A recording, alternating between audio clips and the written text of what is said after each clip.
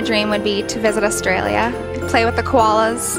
I picked to uh, go on a honeymoon to Mexico with my husband because we didn't get to go on a honeymoon.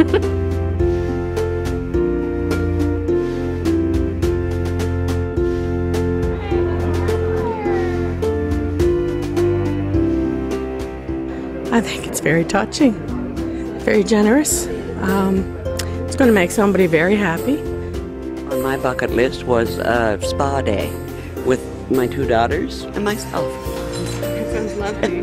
I thought so too. what, what the best part of a spa day for you would be? Just the relaxation and spending time with the girls. Yeah. oh my love.